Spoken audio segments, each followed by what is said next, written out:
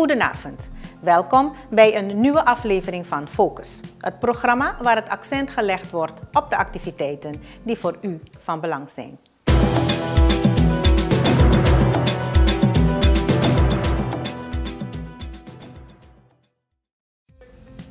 Vandaag in Focus. Wijziging wet op de staatsschuld heeft drieledig doel. President Santoki heeft gesprek met bond pomphouders. Bestuur Vereniging van Medici uit bezorgdheid gezondheidssector bij regering. A20 legt nadruk op hoop en herbewapening van Suriname. En ook hervormings- en vernieuwingsbeweging ontvangen door president Santoki.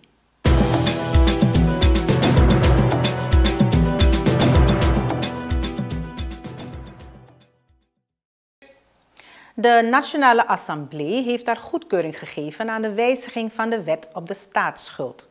Daartoe is de ontwerpwet houdende de nadere wijziging op vrijdag 3 maart 2023 met 26 stemmen voor en 12 tegen aangenomen door het parlement. De wetswijziging dient volgens minister Stanley Raghubar Singh van Financiën en Planning een drieledig doel.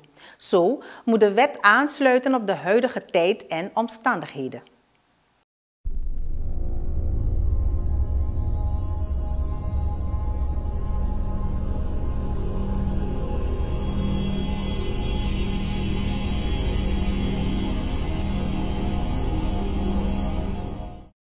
De wet op de staatsschuld is in 2002 uh, uh, afgekondigd en hij is inderdaad zeven keren gewijzigd. Uh, de, wat is het doel van deze wijziging die we voorstellen? Het doel van deze wijziging pardon, is drievoudig. Eén, laat de wet meer aansluiten op de huidige tijd en de huidige eisen. Omstandigheden wijzigen, wetten zijn geen dode letters wetten leven mee. Als de omstandigheden wijzigen, pas je ze aan aan de wijzigende omstandigheden, zodat ze levend zijn en zodat ze blijven voldoen aan uh, het doel, namelijk inzicht geven in het besturen. Het tweede doel is, uh, er zijn wat uitbreidingen van taken uh, en er is wat uitwerking van wat taken die erin genoemd worden. Zo wordt onder andere belangrijk in de wet wordt meegenomen dat uh, de registratie zal plaatsvinden van schulden die ook bij parastatalen en uh, staatsbedrijven die gemaakt worden. De onderliggende reden daartoe is dat het wel eens kan gebeuren dat schulden bij parastatale staatsbedrijven, als die niet uh, uh, door die bedrijven betaald kunnen worden, dat ze uiteindelijk toch op de lijst, op de rekeningenlijst van de staat terechtkomen. Dus het is goed om die vrij vroeg in beeld te hebben. En uh, het derde is dat we met de wijzigingen proberen om de wet beter te doen aansluiten op internationale standaarden.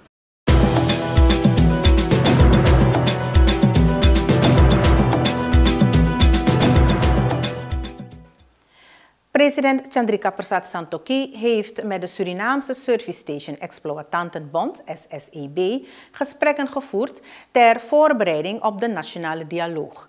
De Bond van Pomphouders heeft op zaterdag 4 maart onder meer de verdeling van de winstmarges en het probleem van de brandstofsmokkel onder de aandacht van het staatshoofd gebracht. Uh, het gesprek waarover het ging, het eigenlijk wat er 17 februari is gebeurd, het nooit meer terugkomen. Uh, en dat er een beleidsombuiging gaat komen. Dus het groot is dat het en de vooruitzichten dat er wel uh, wij beschermd zullen voelen als ondernemers, maar ook andere zaken zoals uh, de verdelingen van de marges bij de oliemaatschappijen en de service stations, dat dat ook aangepakt willen wij zien dat het ook aangepakt wordt door de overheid. En ook een andere zaken dat speelt is um, bij de services de veiligheid, de margeverdeling en um, ook uh, andere um, zaken die wij denken dat uh, de koers, waardoor de koers ook omhoog gaat, zoals de smokkel en de informele sector, waar de, de, benzine wat wij zo voor betalen, zo duur voor betalen, gaat voor onrechtmatig gebruik. Over de smokkel. Hoe heeft dat eigenlijk precies invloed op de koers? Um, wij, wij betalen voor de dure dollars. En natuurlijk, dus dan, de, het land heeft weinig dollars, dus dan, uh, ja, dan gaat het ons geld kosten natuurlijk. En meer, hoe meer dollar wij betalen wat wij niet hebben, gaat het de koers omhoog brengen. Wij hebben wat voorstellen aangedragen, maar daarover zullen we dus, uh, dat zal het denk ik, uh, als het wat concreter is, over gesproken worden. Ik denk dat het nog te vroeg is om over alle voorstellen te praten.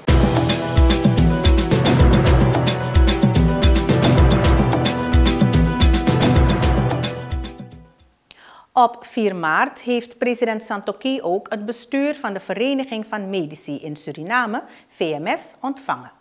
Volgens de organisatie is de impact van de crisis in Suriname voelbaar in de gezondheidssector. Samen met het VMS-bestuur voerde ook de Raad voor Verpleging in Suriname overleg met de regering. Zij is bezorgd over het wegtrekken van zorgpersoneel.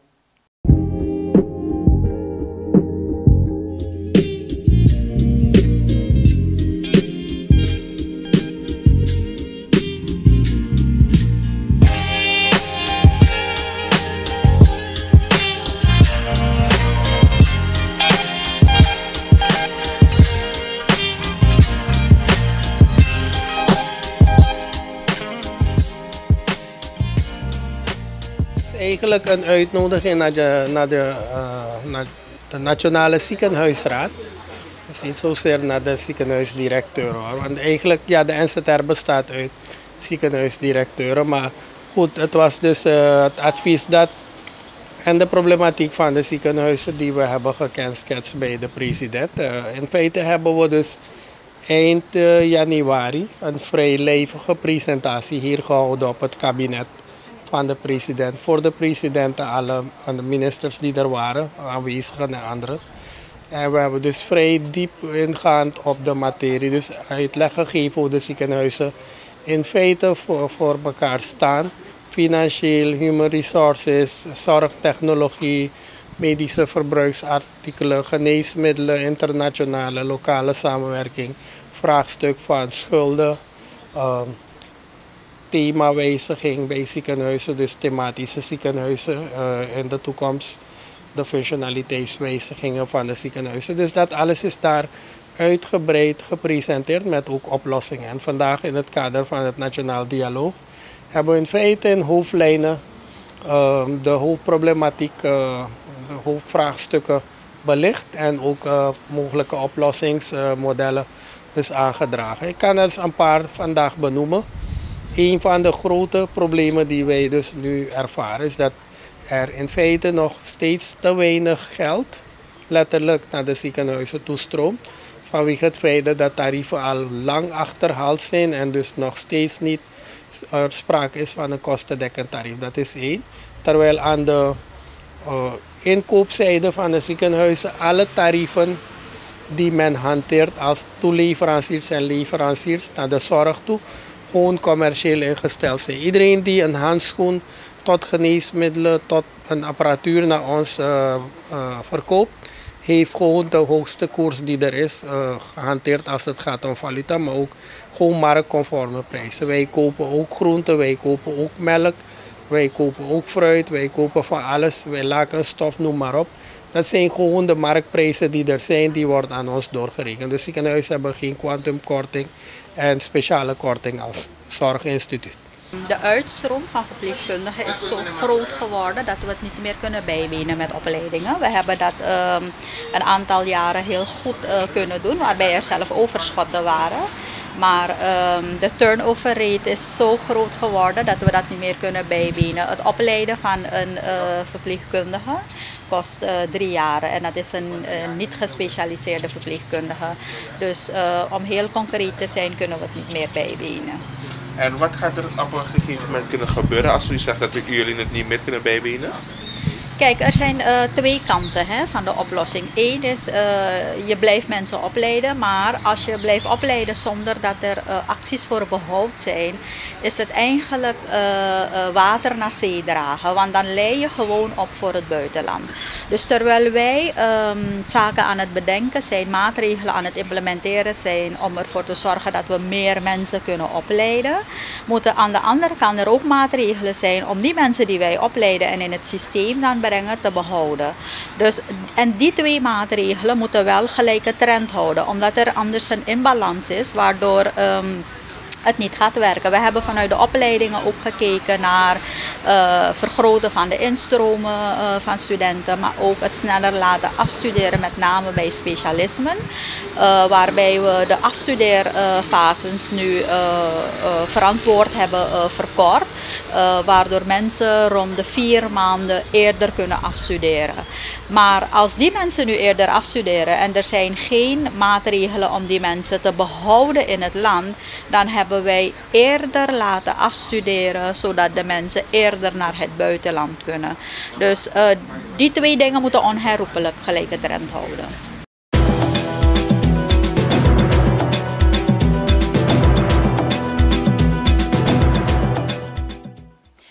De voorgesprekken om te komen tot een nationale dialoog zijn op zondag 5 maart voortgezet. Op het kabinet van de president heeft de leiding van de politieke organisatie A20 haar opwachting gemaakt bij het staatshoofd. A20 is van mening dat Suriname hoop nodig heeft. Partijvoorzitter Steven Rijmen zegt dat gezamenlijk nagegaan moet worden hoe Suriname te kunnen herbewapenen en heropbouwen. Kijk, uh, we begrijpen dat Suriname is op een kruispunt. En dat uh, deze regering eigenlijk het niet alleen maar kan doen. Uh, eh, 17 februari heeft aangetoond dat de Surinaamse bevolking moe is. Heel erg ontevreden. we hebben ook gezien de goede kant, de vreedzame protesten. Maar we hebben ook gezien de andere kant en dat willen we nooit meer zien. En wij hebben gezegd, als je niet met elkaar praat, hoe ga je dan samen met elkaar werken? Hoe ga je samen met elkaar op een, tot een oplossing komen? Kijk, ik kan me opstellen als een, een, een partij die alleen maar zegt, kijk, ze doen het niet goed, ze doen het niet goed. we willen ons niet zo opstellen, we willen ons nationaal opstellen. Daarom hebben we gezegd, wij doen mee aan een nationale dialoog. En we gaan eerlijk en objectief onze antwoorden geven. En, en ook onze voorstellen en ook zeggen waar het wringt. Mijn instelling is altijd uh, positief. Dus ik ga ervan uit dat die president daadwerkelijk zijn beleid wil veranderen. En uh, we zullen zien na al die gesprekken wat uh, zijn daden zullen zijn, zijn, zijn handelen zullen zijn. En dan kunt u bij me weer komen, kan ik u direct zeggen het was fake of het is echt. Uh, ik heb de president gevraagd om dat mee te nemen in zijn beleid tegen armoedebestrijding. Om dit soort uh, structuren die al duurzaam bezig zijn, erbij te betrekken. En te vragen dat wij dan samen vanuit die regering uh, proberen om uh, die armoedebestrijding uh, tegen te gaan. Want we willen niet hebben dat één kind met honger, er gemaag op school zit. Hoe gaat die, dat kind studeren? Dus voor ons is het belangrijk. We hebben ook gesproken over het belang van ons milieu. Uh, we willen niet hebben dat de goudsector en de, uh, hoe noem je dat, de olie en gas straks in Suriname devastated overlaat, dat ons milieu kapot is. Er moet balans zijn, moet een tweesporenbeleid zijn. En we hebben ook gesproken over de productieverhogende gebieden. Met name dat we vooral hout ervoor zorgen dat rondhout niet weggaat, om het maar zo uit te drukken. Maar dat we weer fabrieken hebben, zoals Bruinzeel, die ervoor zorgen, zoals uh, mijn collega dat gezegd heeft, dat er productie aanwezig is, productiebedrijven aanwezig zijn. Wat ook belangrijk is, is sport en entertainment. Als je gezonde, krachtige jongeren hebt, blije jongeren, heb je betere studenten. En heb je ook een betere maatschappij. Dus ik heb gevraagd, niet alleen binnen Paramaribo, maar in districten, buiten districten, ook in het verre binnenlanden. Dat hij werkt met de Gramans, dat hij werkt met religieuze organisaties die overal zijn in Suriname. Dat hij werkt met uh, het de, de, de, leerkrachten die op detachering zijn, politieagenten, brandweer, overal militairen. En dat ze dan een sportprogramma samen gaan ontwikkelen met die groeperingen. Waarbij je ervoor gaat zorgen dat ook in het verre binnenland er interne competities zijn. het betreft voetbal, volleybal, dame, noem maar op. Want als je sterke jongeren hebt, blije jongeren met een entertainment, dan ga je niet hebben wat we nu hebben.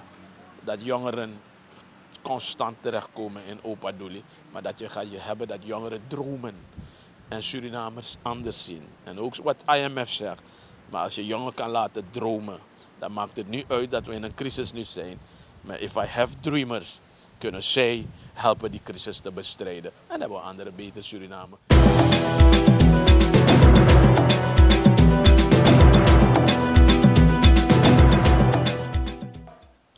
Vervolgens is er een ontmoeting geweest met de hervormings- en vernieuwingsbeweging HVB. Politiek leider Raymond Sapoen zegt dat het belangrijk is om een goed empathisch vermogen te hebben.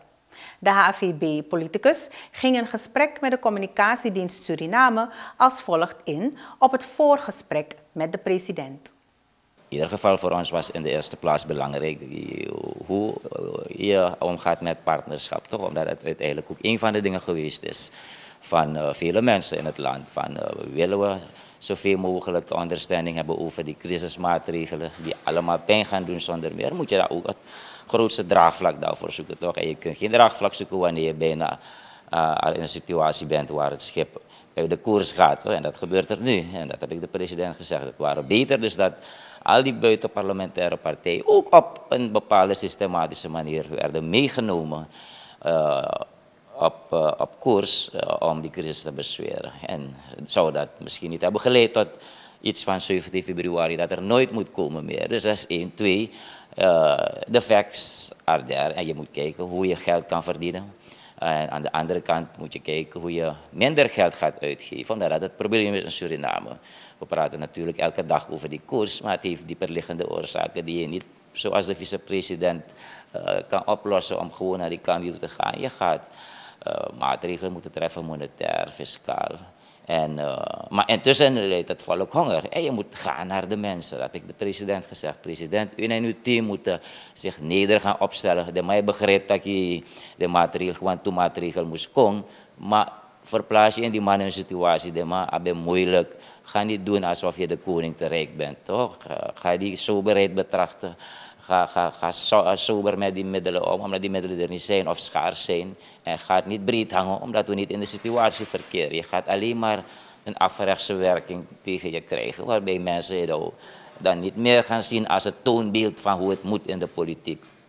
Daar praat ik nog eens over het is een andere setting natuurlijk over de vele discutabele, lastige benoemingen die zonder meer effect hebben voor het staatsapparaat. Dus dat is een van de dingen, dat empathisch vermogen wat we zo benadrukken. Moet wel deze president nu weten wat het uh, betekent. En er zijn een aantal maatregelen door ons, omdat wij ook nadenken toch. Het is belangrijk dat wanneer jij de zaken bekritiseert, je ook uh, concreet komt met actiepunten gericht op meer geld binnenbrengen en minder geld uitgeven. Maar zeker uh, wat er moet gebeuren is dat we prioriteiten moeten stellen. Dat zeg ik altijd. Alles is belangrijk, maar je kunt niet alles tegelijkertijd doen, omdat je niet zoveel geld tot je beschikking hebt. En zeker zijn die beleidsdomeinen veiligheid, onderwijs en, en gezondheidszorg heel belangrijk dat je ervan zeker uh, moet zijn als land, als samenleving, dat het geld daarvoor altijd is. Omdat wij nu zijn in een survival mode. Hè. U en ik uh, werken naar de toekomst van het land toe, maar inmiddels moet je eten, je moet drinken, je moet ademen, je moet je basale behoeften bevredigen. En wanneer je uh, in deze drie domeinen je verzekerd weet van ja, ik ben beschermd en we gaan andere tijd tegemoet om meer geld te gaan verdienen, dan moet dat maar. Maar dan heb je de zekerheid als burger. Dus zeker die kwestie van prioriteiten. En we hebben een aantal maatregelen geopperd ten aanzien van uh, hoe je inkomsten meer gaat verhogen op een creatieve manier. Uh, denk aan die hout, uh, aan die goudsector. Kijk naar die facturen, maar dat is belangrijk. Hoe zorg je ervoor dat die prijs wordt gestabiliseerd? We hebben een voorstel geopperd om, waar je nu een situatie hebt dat die consument eerst moet gaan kijken. Het, de eerste persoon is die gaat moeten letten op uh, hoe die prijs wordt beheerst. Want het zijn niet die ambtenaren van ICD. Dat gaat een onzinnig ding zijn. Je kunt geen 6000 winkels hebben en, en ga je dus 6000 mensen naar die winkels sturen om die prijzen te gaan controleren. Dat is toch krankzinnig. Je moet uh, naar een creatieve manier gaan uitzien waarbij dus de consument zelf die hoofdcontroleur is. Dat doet het ministerie altijd op zekere hoogte, maar we hebben er nog een extra dimensie aan toegevoegd om uh, met een ander systeem uh, de zaken nog beheersbaar te maken en meer zuurstof te geven aan die consument. Dus dat soort voorstellen zijn al helemaal uitgewerkt door ons. en ik denk de kwestie van kiesstelsel is ook aan de orde gekomen dat we kijken naar korttermijnverkiezingen.